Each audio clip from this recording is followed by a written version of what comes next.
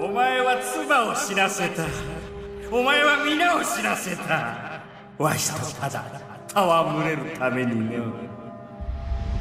またもお前か。飼い犬が。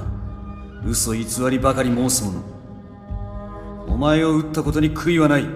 この鬼め。ここでは皆お前の鬼だ。小僧。遅い